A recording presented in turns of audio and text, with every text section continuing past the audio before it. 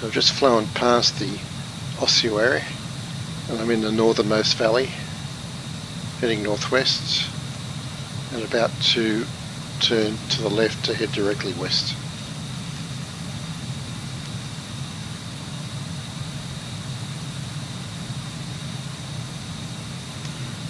Three hundred and seventy knots. Uh, this is easy, there's no other way to go really than left, I believe. Can we go right? I guess you could. But anyway, we're going left.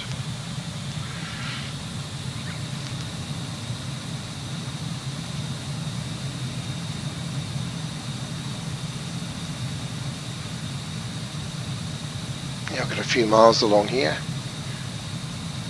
And then we turn to the south. Everything gets easy again. Nice and pumpy there. And we're back onto the plain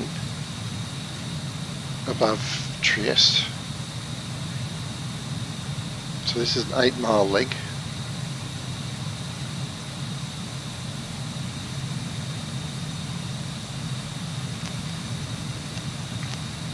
Plenty of fun to be had down here. Uh, mill power 360 knots.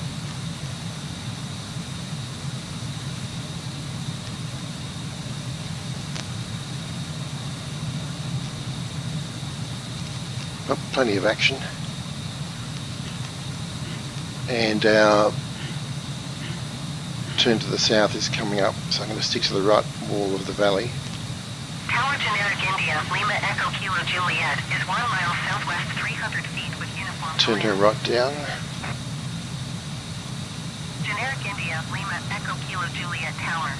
And here we go. Altimeter 29er, decimal 9er 2, wind 09er tree at 25. Quite narrow at first, but it Left downwind runway 9er. broadens out, as you can see. So the time's 11.38 a.m.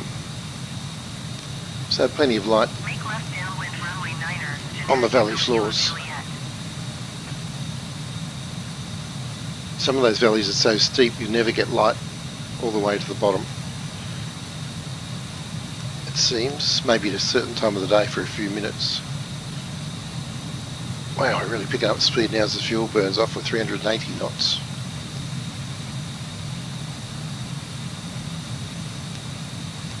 And this river we can follow all the way back to the airport, which is pretty nice. There we go.